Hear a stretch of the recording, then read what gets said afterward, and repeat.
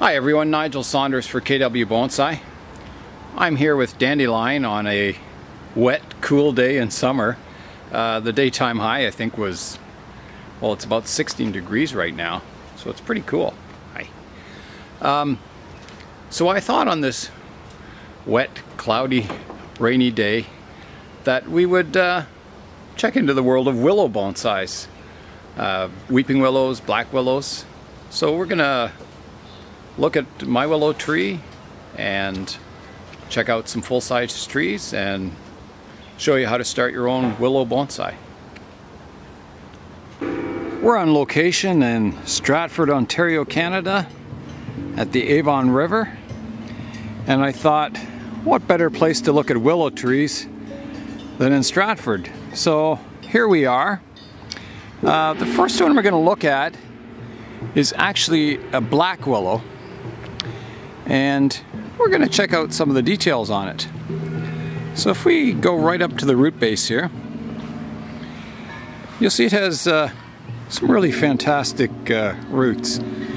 Uh, you'll notice that there's a hollow section here, and that happens a lot in willows is that one branch or trunk will die off and the wood gets really soft with all the moisture and starts rotting and then the roots from the adjacent area start growing into that rotted section and they actually replace what was there as a dead part of the tree with live roots. So you get this fantastic effect of roots going from everywhere and it's, it's really neat. So here's the other side of the tree and you can see the same type of thing has happened that parts of the tree that have died rotted away and all that's left are the roots that were growing in the rotted section. So we get all these fantastic root formations. Here's one over this side that you can see it's rotting away but uh, you can see there's a root growing down into the rotted section So let's go up and see what the top of the tree looks like. So it's got twin trunks, pretty rough bark. It's got a dead section up here, here. And you can see from behind it is a new leader growing. Uh, whenever it, you get a windstorm, these trees tend to lose a lot of branches. Uh, there's one over here. You see it's all cracked and it's gonna probably fall off in the next windstorm. And uh, you get a lot of weeping branches. This one here weeps down towards the water.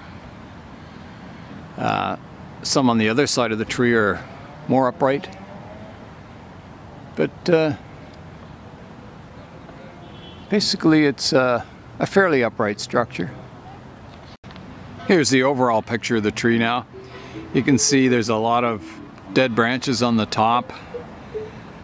It's getting pretty old that one, but there's still lots of vigor and health in it.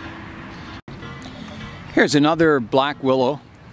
Um, it used to be a quite a big tree, but the uh, main tree has died, and all that's left now is all these shoots that sprouted from the stump, they've uh, grown and the original trunks rotted away. You can see there's a bit of it left here.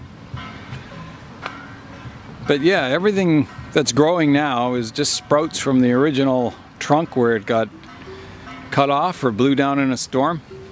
And they're getting pretty big. They'll uh, That'll grow a big tree again from the same stump. Here's one of the, probably the oldest uh, weeping willow tree in the park. Um, I thought I better photograph it before it uh, dies, which I'm sure it will eventually. Um, it's really old. Uh, let's go have a look at the trunk of this thing. So here we are, here's the base of it. And you can see the trunk is covered in tumors of some sort and it goes all the way up and it's really gnarled and just full of interest. Um, I don't know if you'd ever get a trunk like this on a bonsai tree or a miniature tree, but uh, wow, it's just out of this world, this thing. Uh, so it's got pretty uh, short, fat branches. Most of the long ones have been ripped off by the wind. It's got quite a side branch here that goes out over the water. All the foliage is drooping. But you'll notice, um, even though the foliage droops, the branches, if we go up top here, are still pretty upright. So I think when you're styling a weeping willow, it's a common mistake to have every branch weep, and they just don't do that in nature. The basic form of the tree is an upright tree, and all the branches go fairly upright. And all that droops really is the newer foliage. Here's this uh, old weeping willow from a different angle. Uh, it's really fat at the base. You can see, you know, it's just wild. Look at that, eh? So typical of the willow trees is they tend to sprout from the base of the trunk quite often. The tree's always trying to grow new branches. Some are successful, some aren't. The tumors go pretty well all the way up the trunks, quite high. It's just loaded with texture, this tree. Really fascinating.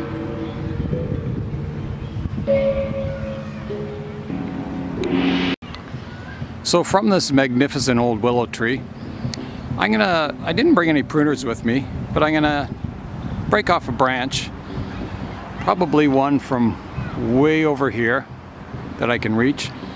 I'm gonna break a branch off and take it home with me, and we'll put it in, uh, in water and we'll try and grow a tree in memory of the grand old willow. So here we are. We've got this magnificent old tree and I've got a branch off it. Let me just put it on the ground. Show you what it looks like. There's the branch off it. So we're gonna stick that in some water and grow roots and uh, make it into a bonsai tree. Here's a small willow with a thick trunk. It's almost the size of a bonsai tree. Um, you can see it's not very big. Uh, if you do chop the trunk on a willow, you'll get a lot of sprouting at your cut mark. And that's what's happened with this tree. It was probably quite large and it's got a chopped trunk and it's grown a whole bunch of new branches, uh, trunks coming off of it. Yeah, nice little willow. Here's some examples of some deadwood on willows where we've got, you know, a section of the tree that's died and it's rotting away and the rest of the tree is rolling around on the, the wound and it'll roll completely over eventually and form quite an interesting trunk. Um, yeah, you can see there's some pretty cool stuff happening with the bases of these trees. Here's a willow with a rather unusual feature higher up on the tree. So if we go up to, whoa! There's a swan carved in the top of the tree. While we're in Stratford, we have to show some swans, of course. Uh, so here's a little willow tree that's just been planted. Uh, it's got a pretty cool base. And so you can see even at a young age, the trees get quite nice bark on them. Right guys? you coming over to see me? No. You kind of have to be careful of the swans. They, uh, they'll run after you if they're nesting. You don't want to get too close to them, especially if you don't have food. But generally they're pretty friendly. Right guys? Yeah, you said so. Here's the base of a multi-trunk black willow. You can see it's got really strong surface roots. Lots of nice texture. You can see the bark on the weeping willows isn't quite as deeply fissured or cracked as the black willow trees. Uh, and it's also a lighter color. So the black willows definitely have probably the more interesting bark, but they don't have quite as, uh, you know, they don't get those nice weeping branches that the uh, weeping willows get. Here's a black willow that uh, I really like the style of it. Uh, it'd make a great bonsai tree. It's got uh, low spreading branches. It's got a nice crown. Uh, it's got a bit of deadwood up there, but not too much. The tree's really healthy. Yeah, so I just thought I'd uh, show that because it's quite a nice looking tree. Just passing by some cute baby ducks. Couldn't resist taking a picture of them. Hi mama. Bye. So that's our uh, tour of willow trees for today. There's a grove of willows as far as the eye can see there. Um, yeah, so let's go uh, back to the bonsai bench and check out our willows. Hi, so we're, we're back from our willow expedition in the park. Uh, here's my branch that I just tore off another branch on that magnificent old willow tree. So what we're going to do is uh, I'm just going to cut the top off this plastic container. There we go. We cut the top off finally. Um,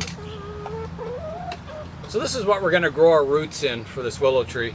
Um, you want a container that's kind of fairly wide at the top because if you have a narrow top in the container, once it grows its roots, you can't get them out. So yeah, either, uh, you know, something with a big, big mouth on it. So we've got our, yeah, we've got our, our cutting here. So the first thing we want to do, I just ripped this off the branch. It snapped quite easily. So we want you, these chickens, the chickens always hang around when I make a video. So I want to I want to make a nice clean cut on the bottom where we're going to grow our roots at the bottom of the trunk. So there we go. And then uh, it's got a dead branch in here. I can cut that off. Well, it wasn't totally dead, sorry. it had a live branch there. Cut it off. And we'll do the same here. We'll just cut them back to pretty close to the trunk. And again here. So basically we're left with a stick. And we're going to stick the stick in the in our container and fill it with water. I use rainwater. I think it's better than our hard tap water. And that's about it. So you just stick it in the water. You can leave it out in full sun and it'll grow roots, hopefully. So this is our old willow tree, the beginnings of it, and we'll uh, keep track of it. We'll do updates on how it's doing and see if we can grow it and grow it into a magnificent old willow bonsai. I've cut out a piece of styrofoam that'll fit in the top of the container with that's filled with water. And if we just stuck the cutting in, it would grow roots, but it would grow them everywhere on the trunk. We just want our roots to form at the bottom of the stick. So what we're going to do is we're going to poke a hole in the styrofoam and just stick the bottom portion of the trunk that we want to grow the roots into the water. And the advantage with styrofoam is as your water level goes up and down, as it dries out, it'll float with it. So you'll always keep that section of the trunk in the water. So we're going to try and poke a hole in it.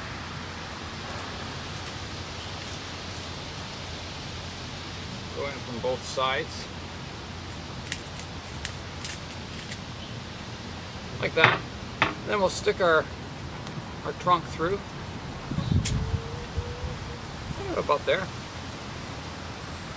And then we'll float it in the water. Here's an older weeping willow that I've been growing for quite a few years now. Um, it's it was planted in this pot uh, I, I, think about two years ago. Um, I was trying to keep the soil really moist by watering it quite often, you know, like on a hot day, three or four times a day. But it still wasn't growing very well. Um, Willows need a lot of water. Uh, two reasons. On a hot day, they actually, the water comes up the tree and out to the foliage, which cools it. And it actually, if you stand under a willow tree on a hot day, it, it's almost like it's raining. There's a mist coming down from the leaves. So it needs a lot of water to keep it cool. Uh, willows like full sun. Uh, if there's any branches that are shaded out by ones above, they get weak very quickly and die off. Uh, it's always looking for the maximum light it can get. Um, so this year, I, I've been growing this a lot of years, and every year I get dieback. Uh, you can see part of the main trunk here is died back, and a new shoot is taken over. And that's part of growing a willow is uh, the tree almost designs itself. You can't pick and choose branches because they could be growing really well one year and then the next year they might not come out in spring or they might die back.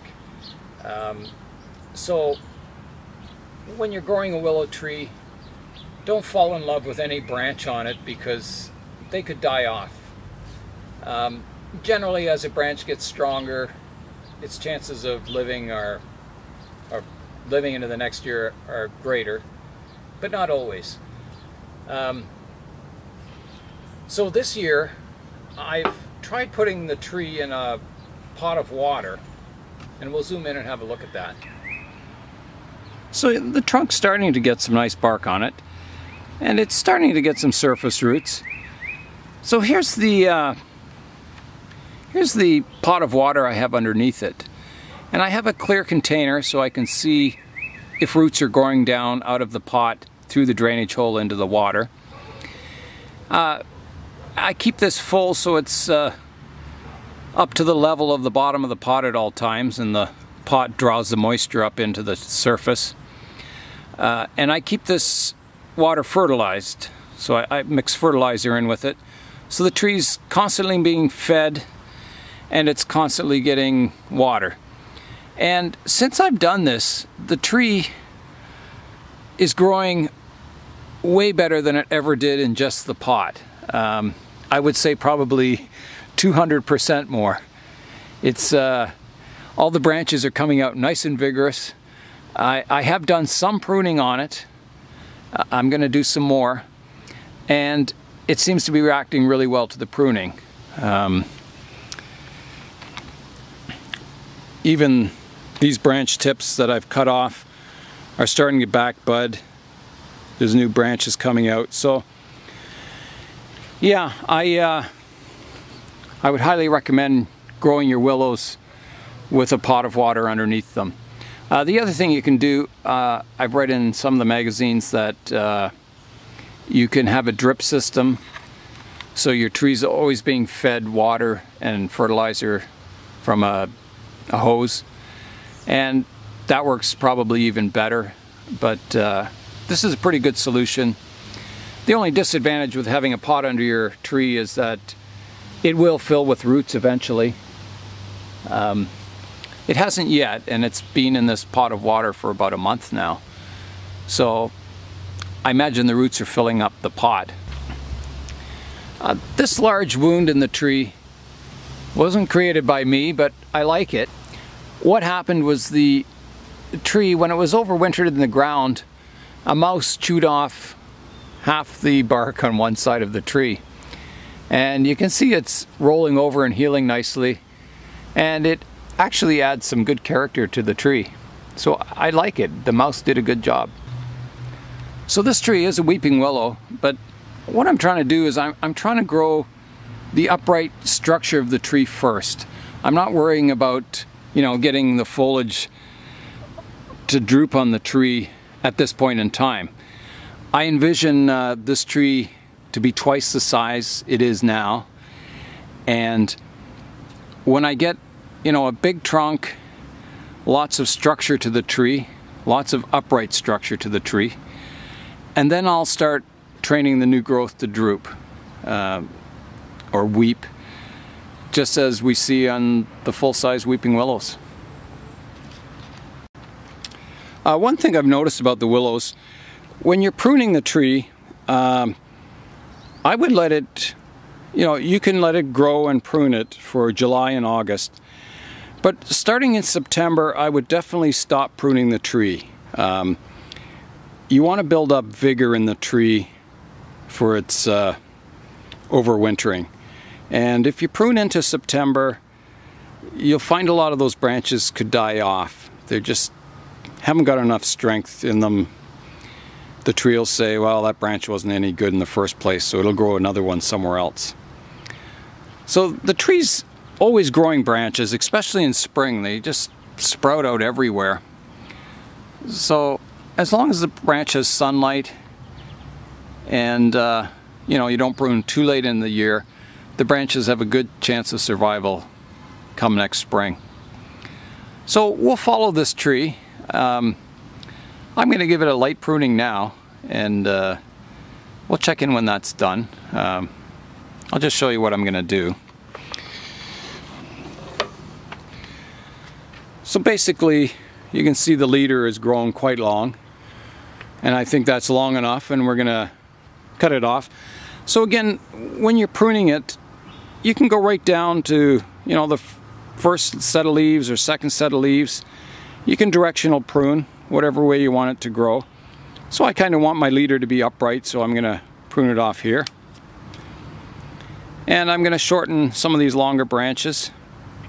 They're starting to overshadow the branches underneath, which is, we don't want that. Uh, it'll cause the branches underneath to weaken and die. So we're going to cut these back to a you know, a reasonable point.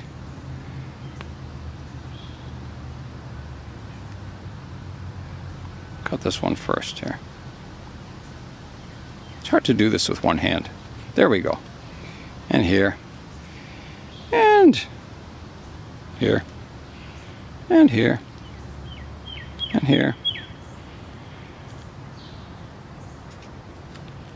here. So you can see what I'm doing. I'm just, you know, basically trimming it up, shortening all these new, this new growth and doing some directional pruning. And you don't have to be really fussy at this point in the tree's life about, you know, wiring your branches in the exact position because chances are the branch you wire will probably probably die off. They don't like being wired. It's not to say you can't wire them, but they prefer not to be wired. They prefer just to grow. So at this point in the tree's life, it doesn't need any wiring. Um, when you do get to the point where you want the, you know, you've built your upright structure and you want your branches to start weeping to give it that weeping willow look.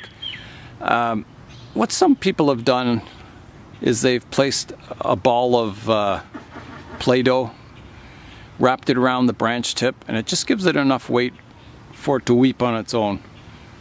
And that's, that's a good way to train the tree. Um, and then once that branch gets a little older, it'll harden off in that weeping position. But again, you don't want, you want to build your upright structure first. You don't want it all weeping or to look like a weeping mulberry or a weeping birch or something like that, not a weeping willow. A weeping willow should have its upright structure and then arch over and weep. Okay, so I've pruned the, the willow up and uh, yeah, it looks a little more compact. I've trimmed some of the longer branches at the top so they're not shading out some of the lower ones. And that's, uh, that's about all we'll do for now. And uh, we'll uh, check in on the tree's progress from time to time, see how it's doing with its new pot of water underneath it. And we'll just uh, give it lots of water and fertilizer. See how it does. Okay, Nigel Saunders for KW Bonsai. We'll see you next time. Bye.